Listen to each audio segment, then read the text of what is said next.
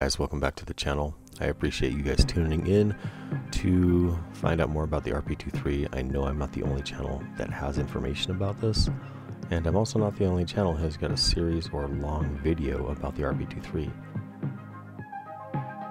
main seal head you do have to pull out the o-ring.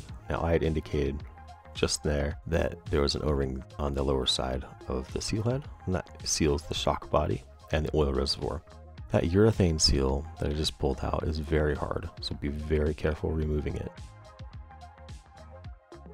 Uh, but once you get all those out, those two seals, just go ahead and clean, get that residue oil off, and then go through with a pass of isopropyl alcohol 91%, you're going to be in pretty good shape.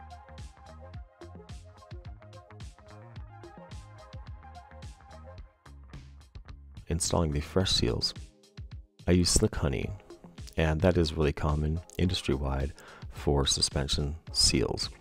So when you put this new O-ring in, again, it's a very hard urethane O-ring, very hard durometer. I have to use the butt of something really stiff. That's not going to destroy the O-ring or damage it at the same time when you install it. So I use the butt of my O-ring pick to push that into its seat.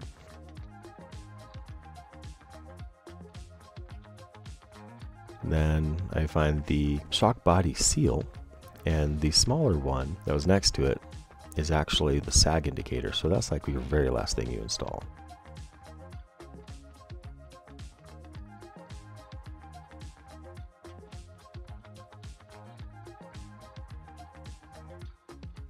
Now for your bearing, which is part of the bleed valve, just stick that in there. And then the bleed valve retention screw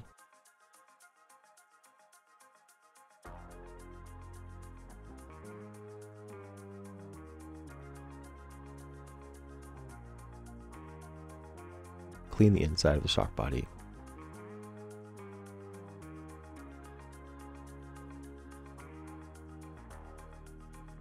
And then remove that O-ring. The IFP is made of plastic, so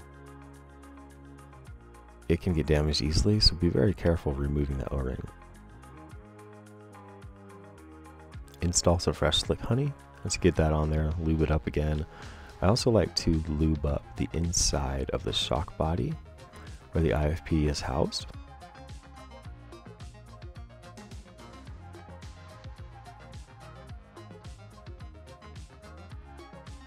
And then slide that in there.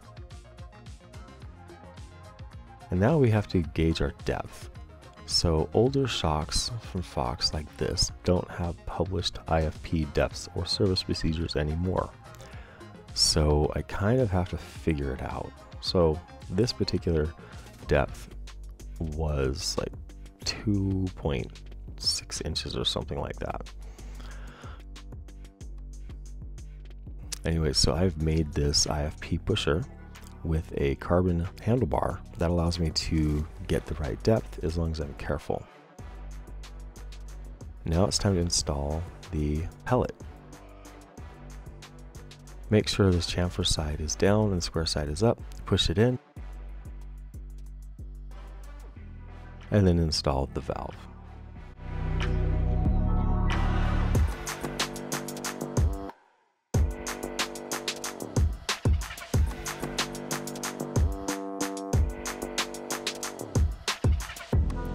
For more content like this, please subscribe and give me a thumbs up. Thank you.